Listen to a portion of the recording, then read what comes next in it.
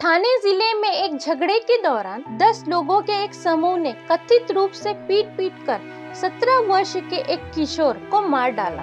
शुक्रवार शाम को कल्याण शहर में समीर लोखंडे पर हमला किया गया और उसने आज सुबह एक अस्पताल में इलाज के दौरान दम तोड़ दिया। खड़े गोलवाली इलाके में एक मैदान में 10 लोगों के एक समूह ने शुक्रवार शाम को लोखंडे पर लोहे की छड़ों और धारदार हथियारों से हमला किया। छह माह पहले एक पेट्रोल पंप पर हमलावरों का इस किशोर के साथ झगड़ा हुआ था और उनके मन में उसके प्रति वैर भाव था। कोलसेवाड़ी पुलिस ने इस घटना के सिलसिले में मामला दर्ज किया है और वह आरोपियों को गिरफ़्तार करने की प्रक्रिया में जुट गई। सीनियर पीआई महेंद्र देशमुख ने क्या कहा? सुनिए। कोलसेवाड़ी पुलिस स्टेशन में कल शाम में पाँच बजे के आसपास एक इंफॉर्मेशन मिली कि मंगेशी गार्डन खड़े गोलीवली एरिया में पाँच छः लड़के, एक लड़के को मार रहे हैं।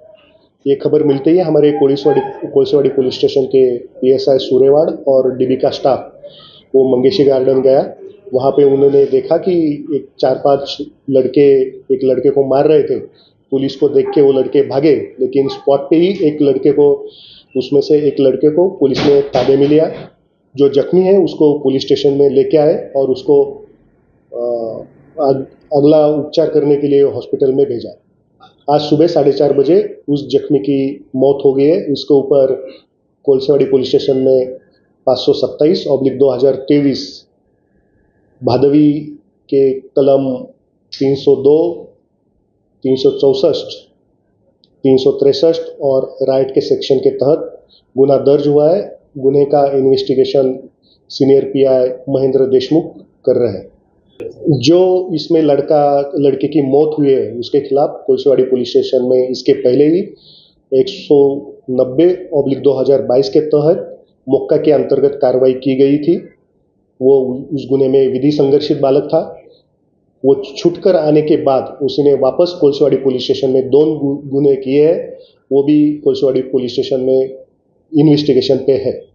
और जो आरोपी है, आरोपी जो है, उनके भी क्रिमिनल हिस्ट्री का पता हम लगा रहे मुझे कुछ नहीं मालूम था। मेरे लड़के को गया था बाहर तो उसको देखा। तो लोग ने बच्चे लोग ने बताया कि समीर आया तो लोग ने दस बारह लड़के लोग पहले देखे, उसको कहाँ खड़ा रहता, क्या नहीं। फिर उसके उसको उठाए, उसको लेके गए, उसको बहुत मारे।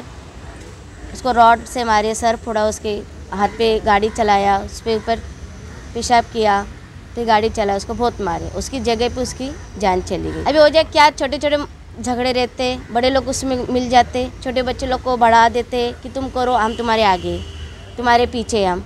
तो बच्चे लोग कोई करते कर लेते। बाद में किसकी जाती है जान। मेरा इतना ही कि मेरे बच्चा गया अभी मेरा लड़का नहीं आएगा। वो लड़को गुने में दाखिल करो और उनके ऊपर कार्रवाई करो बस। जा रहा है कि ज़्यादा उन पर कार्रवाई होनी चाहिए। और दोबारा ऐसा होनी नहीं चाहिए कि सत्रह साल का लड़का और सत्रह साल के ही लड़के लोग सत्रह साल के लड़के को मारने नहीं चाहिए। कुछ तरी कायदा कानून निकालो